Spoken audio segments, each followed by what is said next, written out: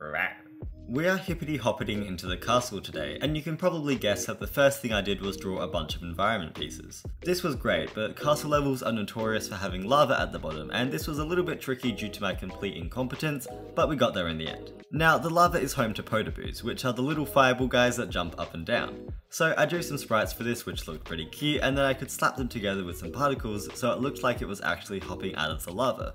I can also control how many Podoboos are in one spot, which leads to some interesting results, so maybe it's best to move on. I love pain and suffering, and that's what fire bars are all about. You just think you can get past them, and then at the last moment they slap you in your face with their fiery balls. Since I already had fireball sprites all the way from episode 2, I could simply make them zoom around a central point, and boom, we have a fire bar. Alright, we have a couple of new things in the game, and it's honestly pretty hot. I mean, it is, it's fire and lava and stuff, I'm very funny. But another enemy that you can find in castles are dry bones. I think they're really cute, and because they are literal skeletons, they were pretty difficult to draw. But hey, I think they turned out okay.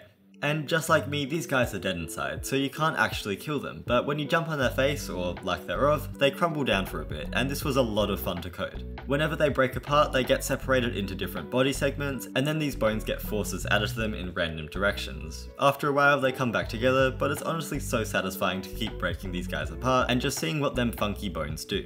Dry bones can also throw parts of themselves. I'm not quite sure how that works, but it does, so that's all we care about. So yeah, a bit of a different enemy. Nice. The next guy I worked on was the Thwomp.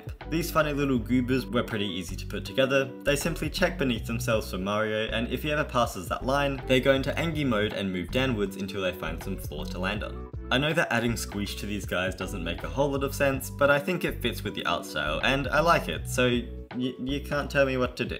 So we have Bony and Stony boys, and they're pretty spooky, but you know what else is spooky? Ghosts. I think the Boo sprite turned out really cute, I'm super happy with it, and it moves towards Mario, but only if Mario is facing in the other direction. The structure is basically like that. If the Boo is to the left of Mario and Mario is facing towards it, the ghost gets spooked and doesn't move.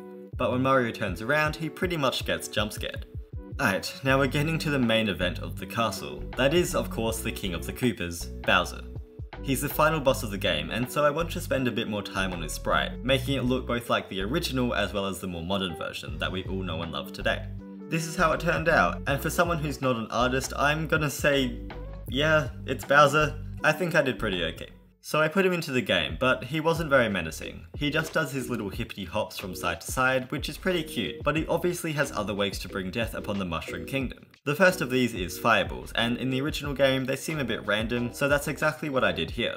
Every few seconds, Bowser just spawns a bunch of fiery balls and they're launched towards Mario. And of course, I used Unity's particle system for the funky effects. The second attack pattern uses hammers, and because I already made the hammer bro, I could simply use the same logic with Bowser, and we get something that works pretty well on the first attempt. Now, we have Bowser attacking Mario, but what about the other way around? The way that Mario defeats him is through this glowing axe. We all know that when Mario pokes the axe, the world explodes or something, I don't know, I didn't read the, the manga. So I wrote a few lines of code and created an animation for hitting the axe, and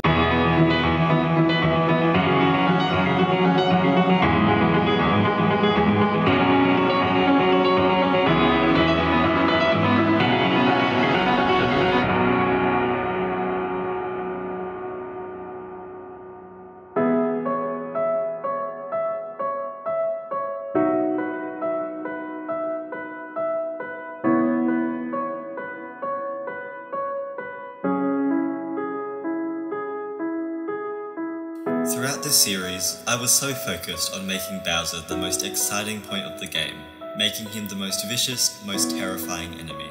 But maybe the real enemies were the friends we made along the way.